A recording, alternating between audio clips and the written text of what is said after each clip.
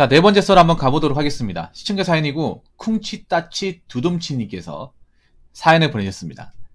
사연을 보내주신 사연자분께 감사하다는 말씀 전해드리겠습니다. 사연 보내주셔서 정말 감사합니다.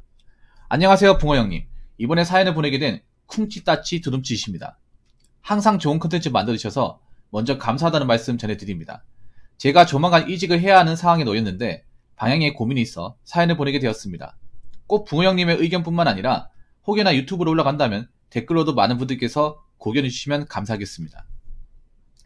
저는 현재 대구 경북권에서 직장을 다니고 있는 29세 남성입니다. 직종은 정자상거래 도소매업 현장직 팀장입니다. 경력은 2년 4개월 차입니다. 전 지방국립대 4년제 인문계열을 졸업했고 취업 때 답이 없다고 생각해 취업 성공 패키지를 통해 지게차를 비롯해 자격증 쉽게 따는 거 맺겠다고 연봉 2,600만 원으로 중소기업에 입사했고 작년에 조금 올라 2,800 정도 받았는데 올해 경영학과로 동결되었습니다. 당시엔 경력도 뭣도 없고 취선패 마지막 단계 도중 취업 지원금 받으려고 집 근처에 원서 썼다가 합격해서 그냥 다니게 되었고요. 21년에 청년 내의 채용 공제로 시작했고 올해 마무리되었습니다. 만약 그거 안 되었으면 퇴사했을 것 같네요. 청년 내의 채용 공제를 생각하면 연봉을 3,300에서 3,400 정도라고 생각해도 무가하겠네요. 회사는 연봉 빼고는 솔직히 괜찮았습니다. 사원이었지만 현장 팀장급이라 업무에 자유도도 있었고 별건 없어도 스스로 고민하고 작은 문제들을 해결해 보면서 나름 보람도 느꼈습니다. 실제 총괄하시는 상사이신 실장님도 열리신 분이라 업무에 있어 부담 없이 제안하고 피드백 받고 요청하는 사안들도 가능한 선에서 해결해 주셨습니다. 출퇴근은 걸어서 편도 30분, 대중교통 10분이었습니다. 복지도 냉장고도 있고 전자레인지도 있고 과자 음료수 라면 같은 간식도 따로 눈치 안 주고 마음껏 먹을 수 있었습니다. 점심 줬고 야근 때는 저녁 때 지원해줬네요. 야근은 거의 없고 오히려 일 일찍 끝나면 부담 없이 보내줬습니다. 턱걸이 기구 아정돼 있어서 점심이나 퇴근 찍고 운동한 뒤 퇴근하고 그랬네요. 회사에 대해 길게 쓴 건 의외로 큰 불만 없었다는 것을 표현하고 싶었기 때문입니다. 문제는 작년 말부터 회사가 눈에 띄게 경영학과 상태로 갔습니다. 올해 1월부터 권고사직 당하는 직원이 생겼고 안 그래도 올해 4월 청년 내의 채용 공제도 끝나서 이직을 고민하고 있었습니다. 3월에 현장직 사원들 대상으로 희망퇴직 및 권고사직을 진행했고 전 권고사직은 아니고 전 희망퇴직 의사를 밝혔습니다. 그래서 4월 말까지 일하고 새롭게 직장을 구해야 합니다. 회사에선 권고사직 처지를 해주겠다고 했고 퇴직금은 500만원 조금 넘게 받는 것으로 계산되었습니다. 그리고 청년 내의 채용공제 1200만원은 4월이 만기인데 행정 절차 때문에 5월이 넘어가야 만기 시청을 통해 돈을 받을 수 있을 것 같습니다. 그래서 약 1700만 원 정도 가용 현금이 생깁니다. 그래서 일단 고민되는 부분은 첫 번째, 실업급여 받는 것과 상관없이 빨리 취직하는 방향 또는 실업급여 받으면서 스펙 쌓으며 실업급여 기간 끝날 때까진 대기업 중견기업 같은 데 넣어보기 2번 직무와 산업 결정 3번 근무 지역을 어디로 하고 출퇴근을 어떻게 해야 할지 정도가 됩니다. 이직 고민을 풀어서 말하자면 실업급여를 받으면서 구직활동 실행만 하며 대기업 규모 큰 중견 이상만 지원 뽑히면 좋고 아니면 실업 유통관리사 물류관리사 준비하거나 아니면 아예 다른 국비 지원 교육 알아보는 방안이 있고 아니면 그런 거 상관없이 제가 생각한 최저 기준선 연봉 3,200에서 3,400 이상 타 지역이라면 기숙사 지원되는 곳 만 생각하고 제조업, 물류, 운송업 관계없이 지게차 쓴다는 곳 일단 계속 지원한다는 방안을 고민 중입니다.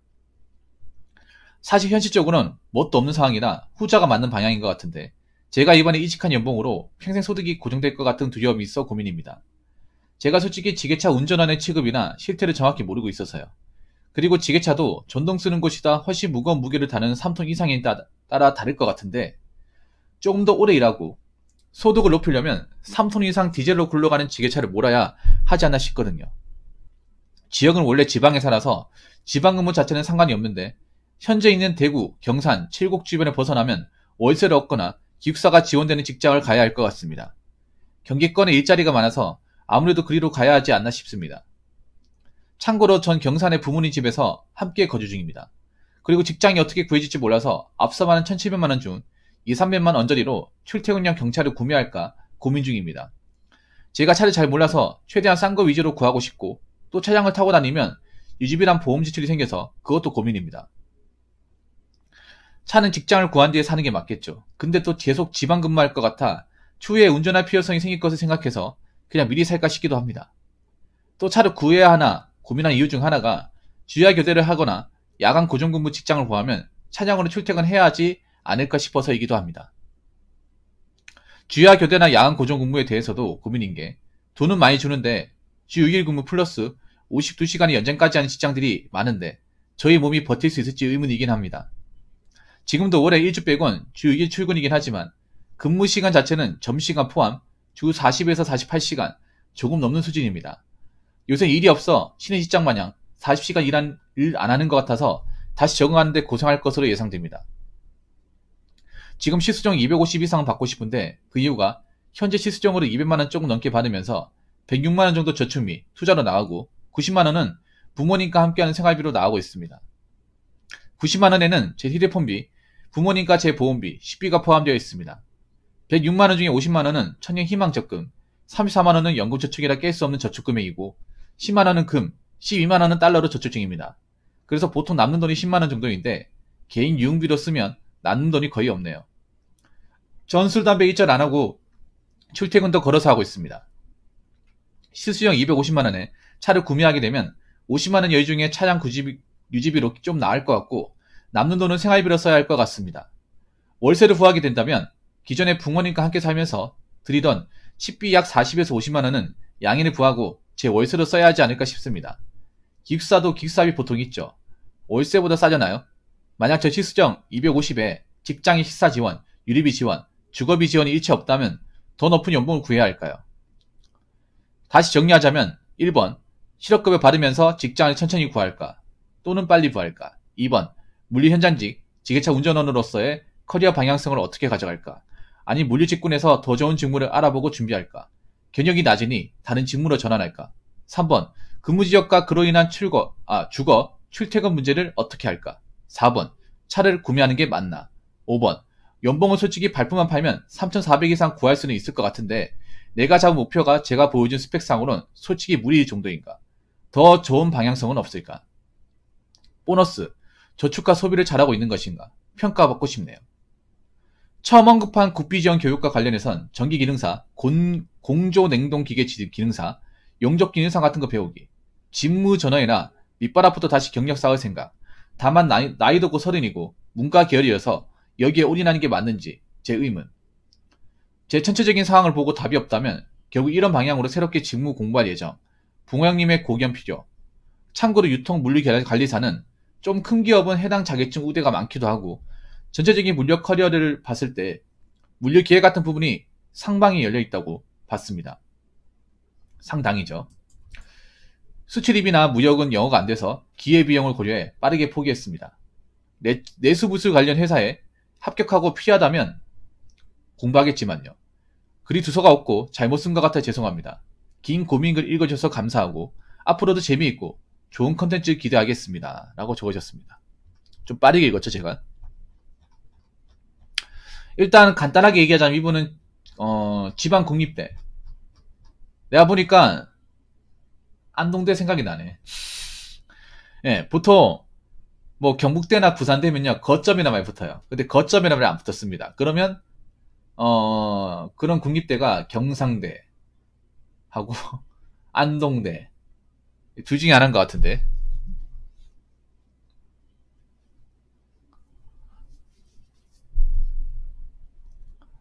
일단 졸업을 했고 그리고 일단 자기가 가진 전공으로 취업을 못할 것 같아서 중소기업에 이제 치성표로 가서 그 내일 채용 공제로 현재 회사에서 2년 동안 일하고 있고 2년 넘게 일하고 있고 2년 4개월이라고 했죠. 그래서 어, 내일 채용 공제는 다 채운 상태고 근데 회사가 좀 어렵고 그리고 벌이가 좀 많지 않아서 이직을 거래하고 있다. 뭐 이런 상황입니다.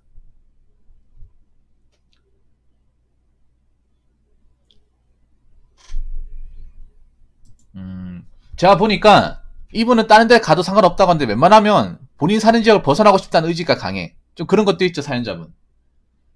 사연자분 혹시 채팅으로 대답 좀 해주시겠습니까? 아니야, 못 벌어요. 무슨 말도 안 되는 소리야. 월천 어떻게 봅니까? 그거, 자, 잘 들으세요. 월천번의 지게차는요, 회사에 소속된 지게차가 아니라, 사업자를 따내는 지게차예요. 왜 보면 큰, 왜 도로상에 큰 지게차 있죠? 왜 전화번호 적혀가지고. 그 지게차예요, 그 지게차. 큰 지게차 있잖아요. 그, 여러분, 여러분 있잖아요. 아니, 많이 버는 사람들은요, 그분 사장님, 그니까 그, 프리랜서 있잖아요. 일감 따내 가지고 하시면, 공사 현장이나 아니면 이삿짐이나, 뭐, 같은 옮길 때 이제, 오더 받아서 하시는 분들. 그냥 회사에 종속돼 가지고 회사 직원으로 그 지게차 모는 게 아니라 여러분 못 봤습니까? 공단 같은 데 가면 큰 지게차 있거든요. 그 전화번호 적혀가지고 엄청 큰 거 도로상에 굴러다니는 거 못 봤습니까? 그거 엄청 비쌉니다 그 지게차. 그 지게차 엄청 비싸요. 지게차 그냥 그냥 지게차도 엄청 비싼데 회사에 있는 지게차도 웬만한 대형세나 저리 가랍니다 저거. 그래서 저거 아마 저거 돈 저거 뭐야 대출받아 사야 될 거냐 아마 저 큰 지게차. 한번 볼까?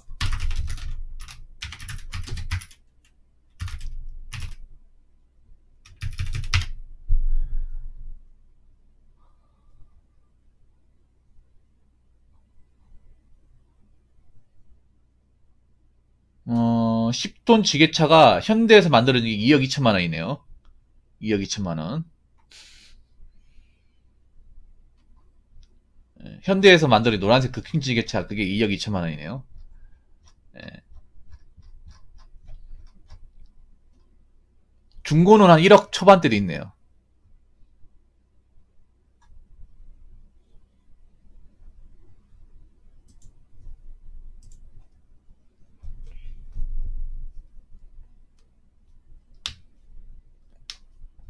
웬만한 포크레인 가격이네. 일단 궁금한 게 본인은 그러니까 본인 사는 지역에서 웬만하면 구하고 싶죠. 떠나고 싶지 않죠. 사연자분. 내가 살고 있는 지역에서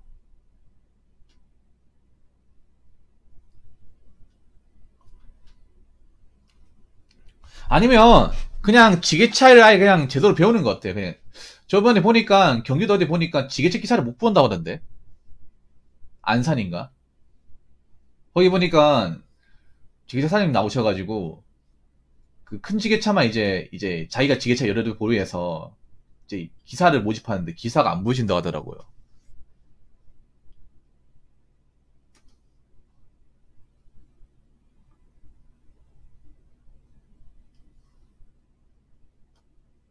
가장 베스트 같다고요. 그럼 본인은 지게차 기술을 배우고 싶어요? 아니면 그냥 회사에 들어가서 일하고 싶어요?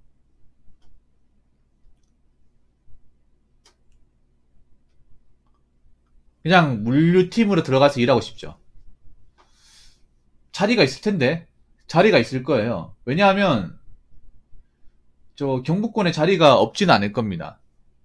물류팀 자리가 있을 거예요. 자동차 회사는 물류팀이 다 있어요. 지게차 팀이 다 있어가지고, 자리가 날 것 같은데. 시간을 더 알아보는 거 어때요? 물론 근데 이거 하면 교대 근무는 해야 될 겁니다. 음, 빨리 취업하는 것보다 저는 되도록이면 좋은데 들어가라 말씀드리고 좋은데 회사 들어가 오케이 오케이 오케이 왜냐하면 빨리 취업하면 이상한 데 취업을 해 사실 지금 회사가 일하기엔 좋지만 급여적으로는 좋은 회사가 아닙니다. 급여는 굉장히 밥봉이에요. 이분이 굉장히 그래도 사람이 착한가 봐. 월급에 그렇게 크게 욕심이 없는 것 같아. 그런데 월급이 너무 작아요, 솔직히 말해서. 아까 얘기는 안 해서 그런데. 제가 봤을 때 세후 250 받아야 될 것 같은데. 세금 떼고도 200만 원 남짓이라는 거잖아. 물론 일을 편하게 한다고 하지만, 그래도 기본 단가라는 게 있는데, 좀 작아요, 이게. 솔직히 말해서.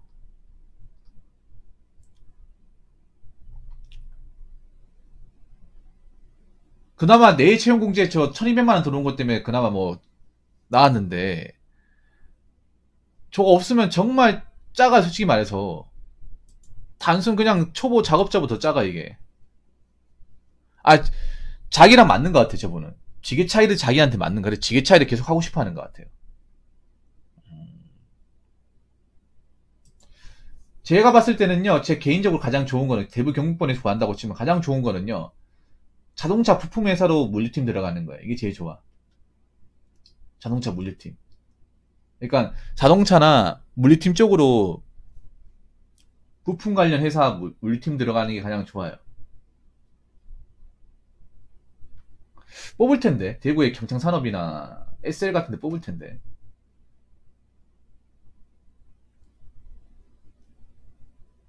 현풍공장 같은데. 현풍공장 같은데 물류팀 뽑거든요. 그거 한번 지원해보는 거 어때요? 왜냐하면 그나마 1차 밴드 중에 경창산업이 경직은 잘 달아주거든요. 물론 이게 계약직이긴 한데 복, 그 보수는 나쁘지 않아요. 대신에 근무 강도는 좀 있습니다. 이교대라서 사람들이 싫어하는데. 그리고 상여가 600%거든요.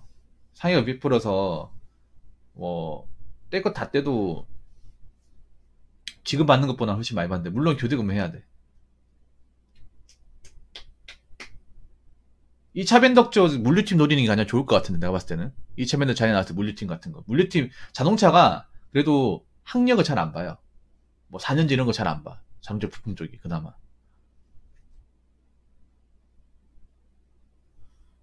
아니면 주간이라는 뭐 지게차 쪽 알아봐요. 지게차 쪽 근데 보통 젊은 사람들 안 뽑으려고 그래요. 젊은 사람들. 왜냐하면 보통 나이 많은 사람들이 많거든. 지게차 일하다 보면.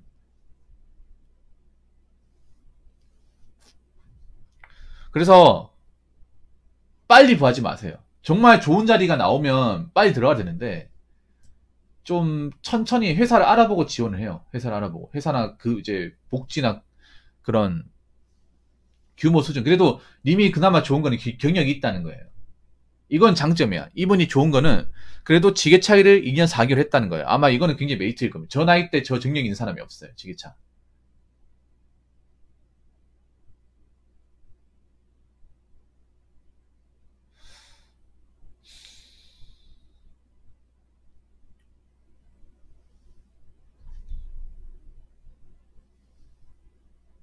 그래서 아싸리 공장 물류팀 들어가는 게 낫다고 생각해요. 중견기업 정도 해당되는. 대신에 교대 근무는 어느 정도 각오해야 될 겁니다. 그래서 경북권에서 일단 자, 그 중견기업 이상의 물류팀을 한번 볼까? 한번 보자.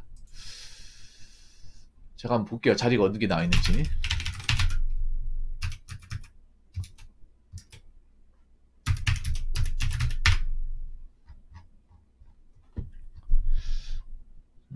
보자. 저는 중소기업 안 갔어. 중소기업 같은 거 차장 필요합니다. 아, 그 통근버스에서 통근버스. 현풍이나 구지 쪽에 그래도 일자리가 많거든요. 경산하고 그렇게 멀, 차가 있어야 됩니다. 차가. 차가 있어야 돼. 왜냐하면 경산에서 현풍까지 차 있으면 그리 멀지 않아요. 대신 기름값 좀 나오고. 어차피 돈을 막 완전 적게 주고 이건 아니니까.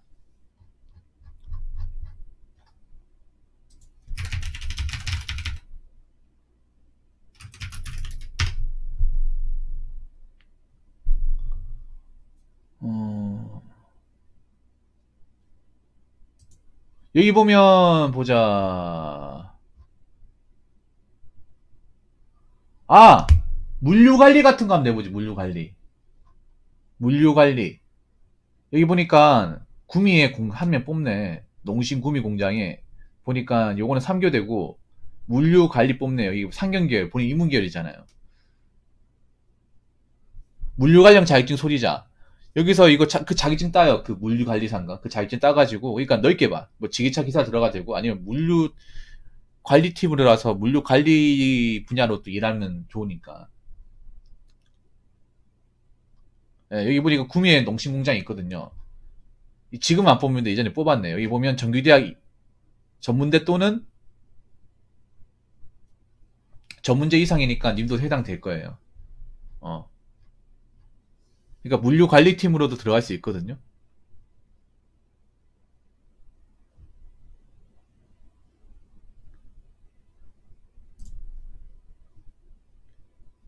여기 보면 나와요. 농심 대구 배송지점 물류 관리지 신입. 이 근데 이거 공고가 끝났어요. 대구 지역, 대구 서구네. 똑같네.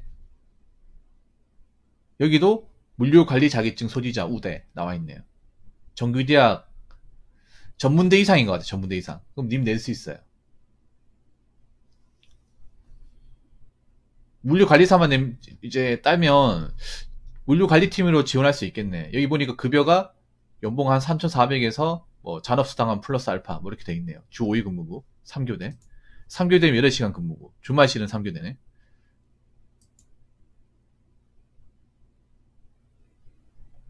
제가 봤을 땐 경북 쪽으로 알아보는 게 좋을 것 같아요. 경북 쪽으로. 제가 봤을 때는 아마 지게차 일을 하면 지게차 일을 하면 아마 그 교대 근무는 해야 될 겁니다. 교대 근무. 님이 지금 중앙 근무 있잖아요. 대부분 뽑는 것이 규모가 있는 것은 교대 근무입니다. 예, 교대 근무. 예, 주간 많은 곳은 없어요. 그러니까 좀 큰 회사를 가겠다고 하면 주야 일하는 건 각오하셔야 됩니다. 기왕 들어갈 거면 어린 나이 때 규모가 있는데 들어가는 게 좋아요. 예, 규모가 있는데.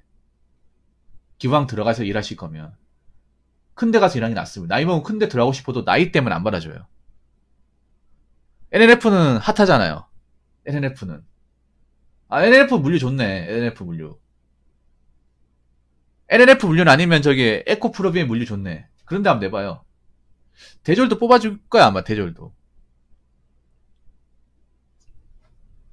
보통 일이 힘든 데는, 일이 힘든 데는 보통 대졸도 넣어준 데 있거든요. 왜냐하면 워낙에 잘 나가니까.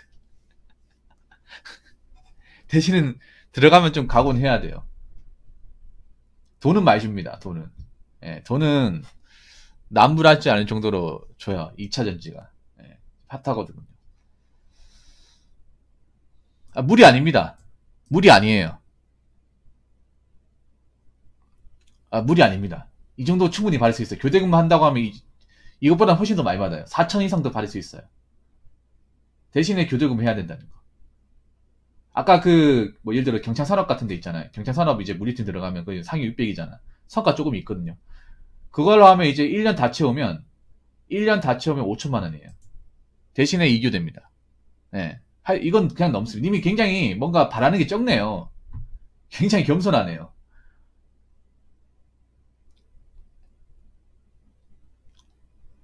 일단 보너스 저축과 소비를 잘하고 있는 거 잘하고 있는 거 맞습니다. 아 잘하고 있는 거 맞아요. 정말 경제관념 투철하네. 네, 보니까 쓸데없는 돈 안 쓰네요. 어, 저축도 하고 있고 저 월, 조금 월급 106만 원 정도 저축하고 있고 어, 누군 저축 땡전 한 푼도 안 하고 있는 사람도 많은데 마통 뜨는 사람도 있잖아요. 어.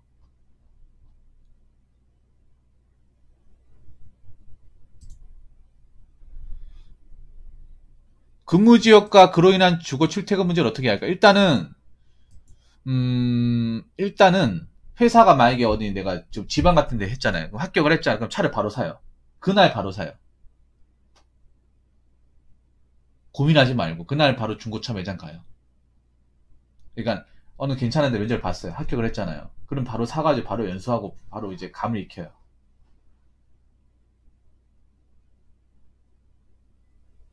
사실 뭐 차가 필요 없기도 해. 왜냐하면 내가 자취를 해가지고 뭐 이제 통근버스 있는 데로 가게 되면 중견기업 이상 회사는 통근버스 다 있거든요. 있어가지고 이제 통근버스가 왔다 갔다 하는데 이제 내가 지구를 이제 구하게 되면 사실 그렇게 이제 내가 자리 잡으면 차가 필요 없긴 해요. 근데 만약에 내가 뭐 집에서 왔다 갔다 하고 싶다 아니면 통근버스 이용하는 시, 원하지 않다 하면 차가 필요하긴 해요. 근데 이거는 봐야 될 것 같아. 나중에 회, 합격하고 나서 어 통근버스가 운행되는지 안 되는지 코스가 어떻게 되는지 나중에 들어가면 알려주긴 하는데 뭐 통근버스가 이제 가는 방향에 내가 자취할 수 있는 곳을 구할 수 있으면 차가 필요 없긴 해요. 그래도 나중에 생각하면 차가 있는 게 낫기도 합니다. 돈이 좀 모이면.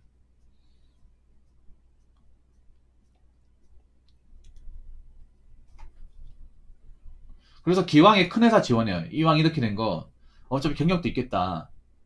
어, 큰 회사 자재팀이나 물리팀 지원해요. 좀 시간이 걸려도 괜찮아요. 잘 들으세요.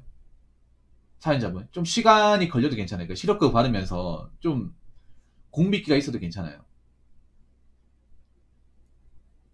공백기가. 기왕 들어갈 거 이번엔 좀 좋은 데 들어가자 생각으로 하시는 게 낫지 않을까 생각이 됩니다. 저기는 그냥 내가 경험 차원에서 일한 거고 이제 나이도 이제 찼으니까 좀 큰 회사 한번 지원해보자. 문어발식으로. 그러니까 한두 개 지원하지 마시고요. 그냥 경북권에 괜찮은 회사다 생각하면 문어발식으로 지원해요. 되면 좋고 안 되면 어쩔 수 없고 이런 식으로. 그래서 걸리는데 면접 보고 네, 그런 식으로 가십시오. 그리고 물류관리사 자격증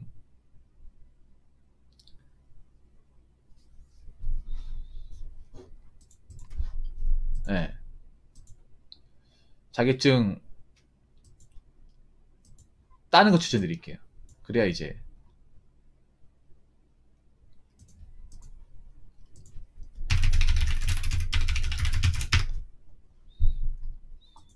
좋으니까.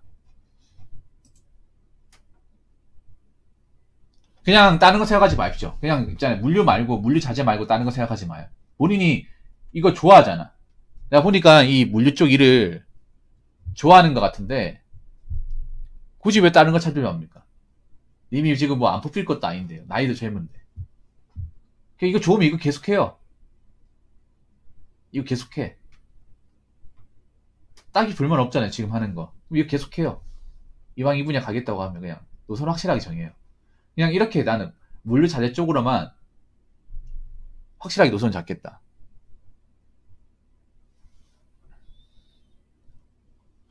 왜냐하면 여기 전기 기능사, 뭐 공조, 냉동, 기기능사, 전격기능사 있는데 맞아 이쪽은 내가 잘할지 못할지 모르잖아. 네.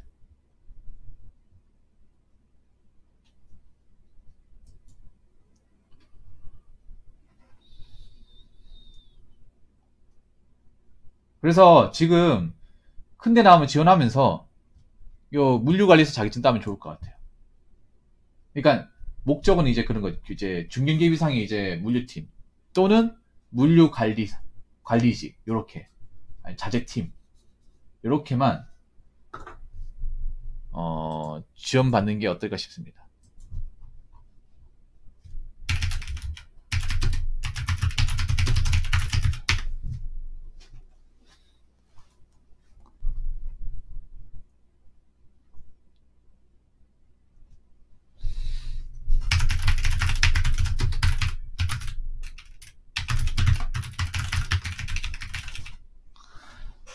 뭐 정리가 됐습니까 사연자분? 사연자분 정리가 되었나요? 그리고 본인이 고향이 좋으면 굳이 멀리 가지만 내가 봐도 돈 욕심이 막 그렇게 엄청나게 있는 분은 아닌 것 같아.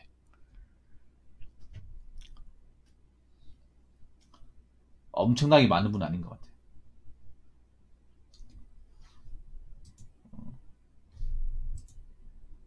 그래서 여기서 조금만 더 받자는 생각으로 하는 게 좋을 것 같아. 고향을 떠나고 싶어 하지 않는 것 같아. 그리고 굉장히 그리고 좀 경제관념 투철한 것 같아요. 보기 좋습니다. 네. 올해 안에 결과 나올 거예요. 그러니까 너무 걱정하지 마시고. 근데 좀 대학교 졸업한 건 좀 아깝다.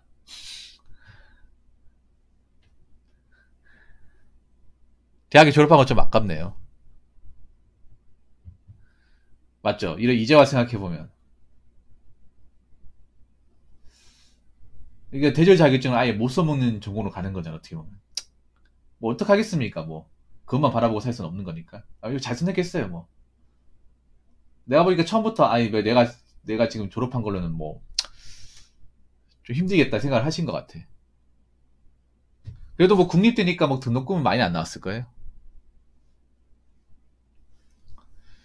아무튼 사연 보내주셔서 감사하고, 그, 지금 회사보다 좀 더 좋은 회사, 좀 더 나은 회사 합격해서 어, 제 방송이 나중에 합격했다고 좀 알려줬으면 좋겠습니다. 예.